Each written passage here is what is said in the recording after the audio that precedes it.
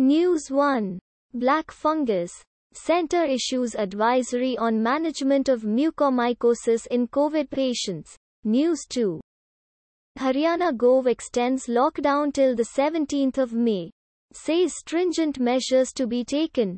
News 3. Gangwar complains about COVID situation in Bareilly. Tells up CM officials don't take calls. News 4. Sonowal to be a guide. Grateful to PM Modi. Amit Shah for support. Himanta Biswa Sarma. News 5. If full GST exempted. FM Sitharaman on Mamata Banerjee's letter to PM Modi. News 6.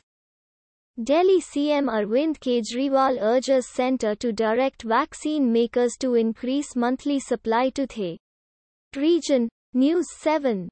Tens of millions plunge into poverty in COVID-ravaged India. News 8. Bengaluru hospital crowd funds oxygen machines. Food for patients and staff. Automatically generated.